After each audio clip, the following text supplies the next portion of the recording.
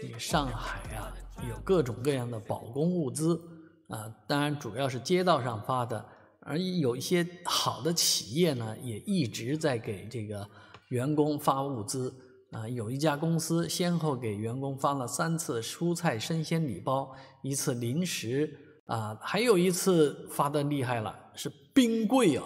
这太贴心了。